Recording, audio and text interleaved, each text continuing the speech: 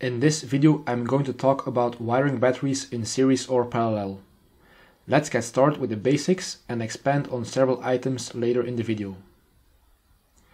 If we wire in series, the voltage gets added up while the capacity stays the same. Take these 12 volt batteries for example. If we wire them in series, we will have a 24 volt 100 amp hour battery. Do not series connect different voltage or capacity batteries. If we wire our batteries in parallel, the capacity will increase while the voltage stays the same. If we take the same batteries, we will have 12 volts and 200 amp hours. Do not parallel connect different voltages. Different capacity batteries can be connected in parallel if they have the same chemistry. When we connect our battery in series, the voltage will increase. If we have a higher voltage battery, we can decrease the thickness of the wire. This will save us money on wiring costs. It will also be cheaper for a charge controller. Let's say you have an array of 700 watts and want to charge a 12 volt battery or a 48 volt battery. With a 12 volt battery, you need a charge controller of 60 amps, while a 48 volt battery only needs a 15 amp charge controller. When we connect our batteries in parallel, the capacity is increased. This is useful for our C rate. I did a video on this which you can check out on my channel. We will recap it here shortly. When you increase the capacity of a battery, you will increase the lifespan of it. Let's say you have a lead acid battery that is 12 volts, 100 amp hours, and you have a 1000 watt inverter.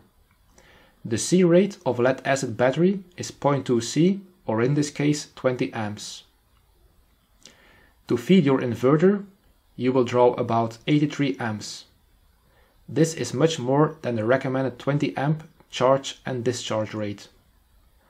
While the system might work, it will reduce the lifespan and the capacity of the battery due to heat generation. It's much better to have four batteries in parallel if you have already bought your 12 volt inverter.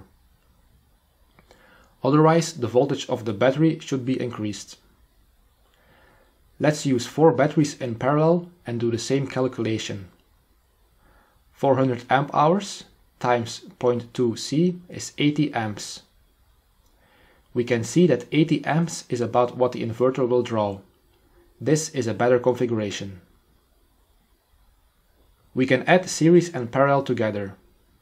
If you have four 12 volt 100 amp hour lead acid batteries and a 1000 watt 24 volt inverter, you can make one big 24 volt 200 amp hour battery. If we calculate the C rate for the system, it would be 200 amp hours times 0.2 C is 40 amps. The maximum current demand from the inverter will be 1000 watts divided by 24 volts is 41 amps. This is a properly sized system that will give you a long battery lifespan. There are a few items we need to take into consideration when wiring our batteries together. The first one is to not mix batteries of different chemistries. Another one is to not connect batteries with a different state of charge.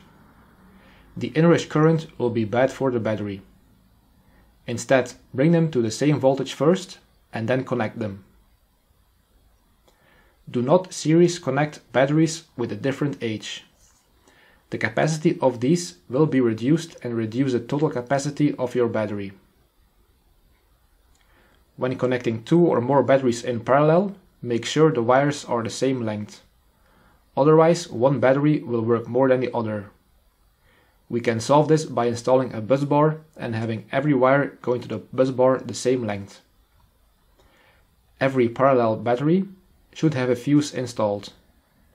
For lead acid, this can be an ANL fuse. For lithium, it can be a circuit breaker, class T fuse or a rail mount fuse, which is more popular in Europe. All of these have a high current breaking capacity.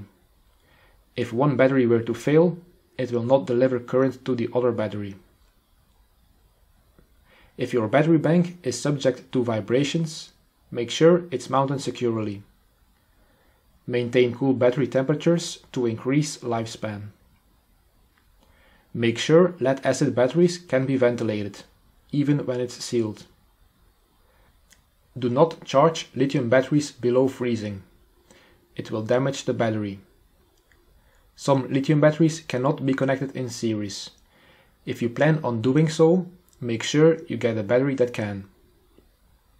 Wear safety equipment when wiring your batteries. Remove jewelry and use insulated tools. Right now, lithium iron phosphate server rack batteries are inexpensive for what they have to offer. I hope this video answered your questions about connecting batteries. If you liked the video, please click the like button consider subscribing, and if you want to learn more about off-grid solar power, check out my book on the subject.